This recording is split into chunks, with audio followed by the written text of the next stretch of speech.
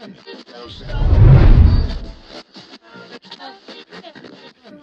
Here we go. There we go. Take three. Take three.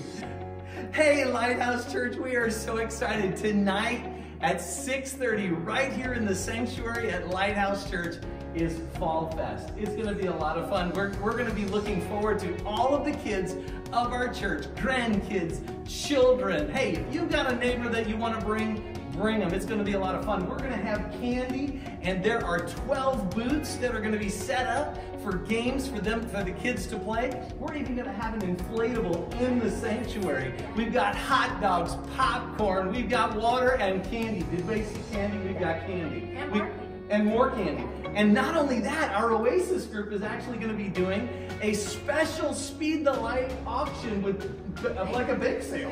And so you don't want to miss any of this. Here's one of the very first games. Jimmy and Tammy Lynn, have put this together, and it is called the Itsy Bitsy Spider Ring Toss. Incredibly creative. Go for it, Dan. See if you can make some happen. Nope, nope.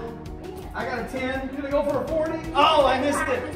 Hey, you gotta come and practice these games. These kids are gonna have a great time. We have a prize tonight for the best booth and a prize for the cutest or best costume.